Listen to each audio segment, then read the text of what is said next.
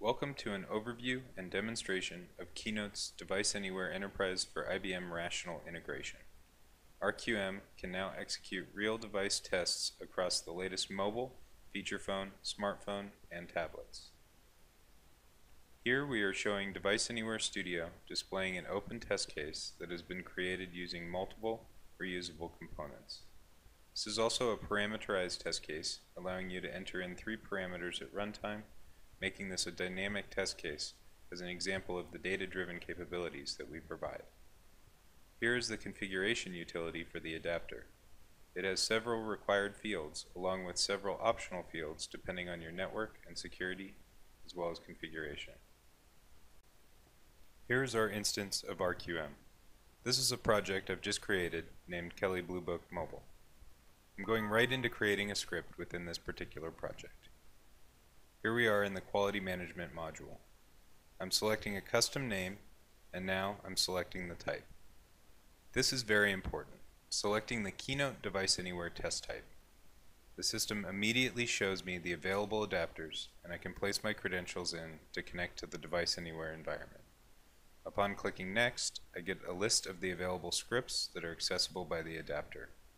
I'll choose the target script and then click the Save button.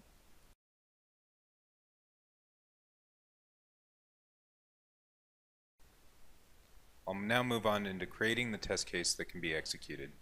I'm entering a descriptive name for this particular test case. I will then go to the test script area and add the test scripts that I want to be included in the test case as well. I'll then also create the execution variables that match the parameters in this case, the make, model, and year for an automobile. Now we'll save the test case. This test case is now available to be run. We'll then select one of the run links. Let's review the settings here. You'll notice that we got to the correct test case and the adapter. Now we can also choose to modify the execution variables before clicking OK. Now the test case is being executed. It's being sent to the adapter. Once here, we'll bring up a view of the actual device running the script. This is all being performed in real time. The device is actually executing the specified test case using the parameters that are being passed in by Rational Quality Manager. I'm now going to skip forward a little bit to the conclusion of the test.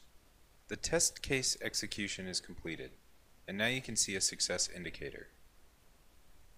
I will now click the Show Result button, which takes us right into the execution results and you'll see all of the relevant level of detail for this specific test case, such as pass or fail, step descriptions, execution time, and all proofs which can be opened separately. Notice here that we have a timing mechanism built in so you can see how long each one of the steps took. At the bottom of the screen we also have our script log which gives you the device anywhere specific log output. Here's an example of a failed test. When we click Show Result, you'll notice that the execution result at the top is listed as a failure. In the details, we'll get a detailed message from the script.